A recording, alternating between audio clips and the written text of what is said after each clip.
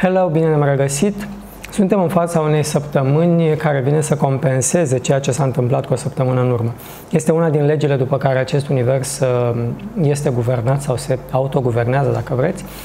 În uh, folclor sau în tradiția um, și în înțelepciunea poporului român, uh, această lege se poate traduce prin foarte multe vorbe de duh, după faptă și răsplată, bine faci, bine găsești, ce dai, aia primești, ce semeni, aia culegi, sunt, sunt mai multe și bănuiesc că ați înțeles deja ideea. Dacă săptămâna trecută ne-am cam chinuit, am cam fost, nu știu, nu neapărat traumatizați, dar a fost o săptămână destul de, destul de intensă. În compensare avem o săptămână mult mai liniștită, o săptămână mult mai așezată. O să vorbim puțin și despre vibrația specifică lunii.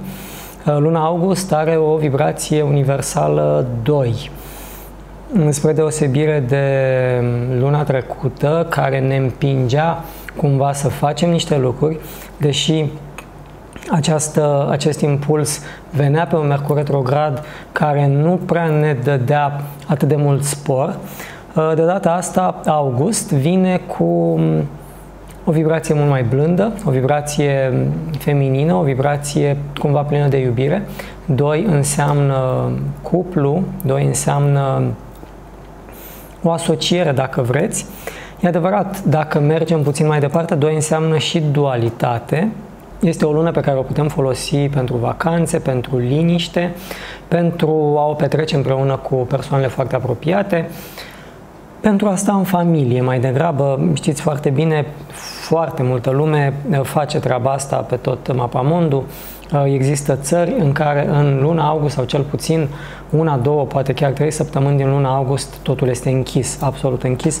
Cei care mă urmăriți uh, din Spania sau din Italia știți foarte bine despre ce vorbesc. Uh, înainte de a începe să analizăm fiecare zi în parte, mulțumiri tuturor celor care ne scrieți, care ne apreciați aceste producții. Uh, legat despre luna august, un spot, un material foarte complex, veți găsi la finalul acestui clip realizat de Andreea, este horoscopul lunii august. Uh, chiar și ea a spus, luna august este o, zi, o lună specială, este o lună care are niște valențe foarte interesante și dacă veți urmări materialul ei și sunt convins că cei mai mulți dintre voi deja ați făcut-o, o să descoperiți ce se întâmplă pentru fiecare zodie în parte uh, pe parcursul acestei luni. Și spuneam mulțumiri, uh, vă așteptăm în continuare să vă abonați la canal pentru a putea să păstrăm legătura și pentru Uh, a ne ajuta în ceea ce facem și pentru a ne da posibilitatea să vă ajutăm împărtășindu-vă cunoștințele pe care le-am dobândit și pe care cu bucurie le dăm mai departe. Luni este 5 august și avem o vibrație 7. Nici că se putea ceva mai frumos. Uh, luna, care patronează ziua de luni, suprapusă peste energia spirituală a lui 7, fac o asociere incredibilă Uh, o să fie o zi pe care eu abia o aștept. Uh, evident, înțelegeți că aceste clipuri sunt uh, filmate cu mult înainte ca ele să ajungă la, la zi, să, să devină actuale.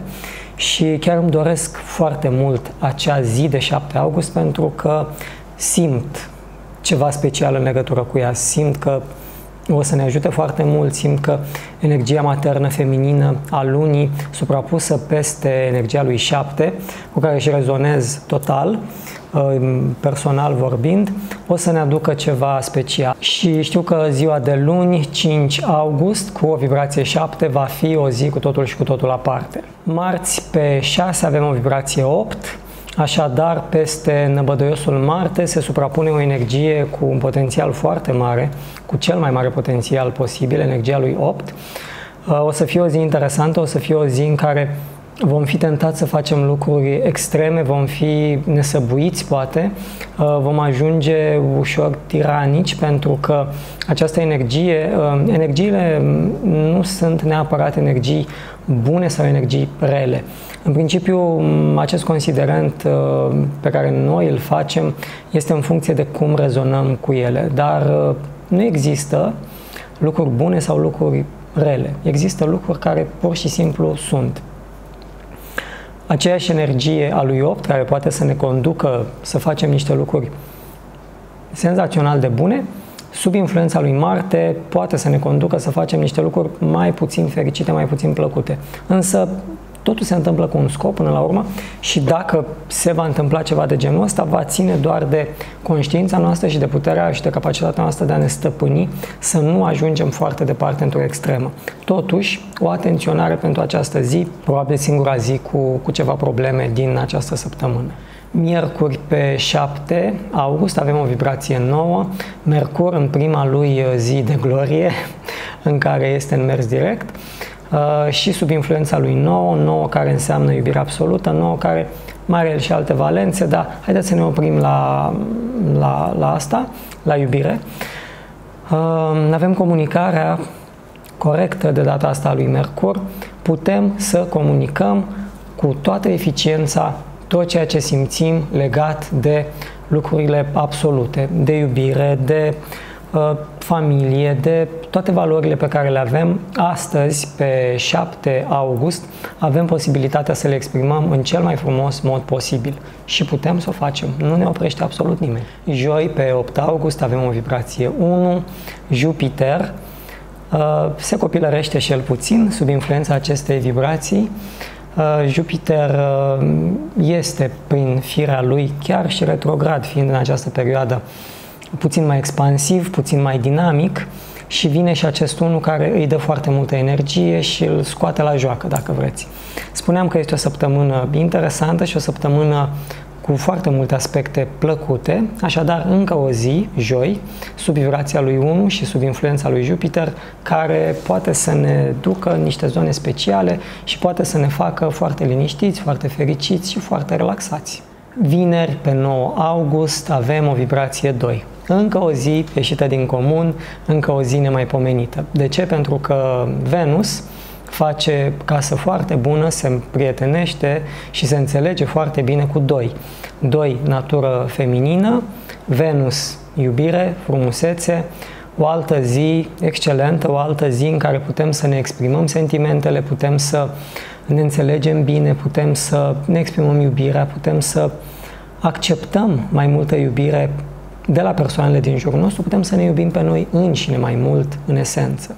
Sâmbătă, pe 10 august, avem o vibrație 3. 3 și Saturn nu se prea împacă, am mai avut uh, situații de genul ăsta, uh, însă putem să-i dăm crezare lui 3, putem să ne lăsăm influențați uh, de el, pentru că ne aduce multe idei bune, multă dinamică, este sprijinit și de energia anului și chiar dacă Saturn este puțin mai taciturn, Uh, până la urmă, cred că trei o să învingă de data asta, pentru că este și o zi de weekend și preferăm mai degrabă să ne bucurăm și să ne întâlnim cu prietenii și să fie totul frumos în jurul nostru, decât să stăm îmbufnați într-un colț sub influența lui Saturn. Duminică este 11 august și avem o energie 4. Uh, săptămâna se, se termină apoteotic, dacă vreți. 4 este foarte așezat, uh, foarte multă încredere, foarte multă stabilitate. Duminică este o zi făcută pentru asta locului, în esență, și a nu trebălui foarte mult, a nu munci, a nu depune foarte mult efort. Și atunci uh, aceste energii se suprapun, se înțeleg, se acceptă și totul este foarte, foarte bine între ele. Și nu uitați, orice zi este specială dacă ne dorim încă de la început să fie specială.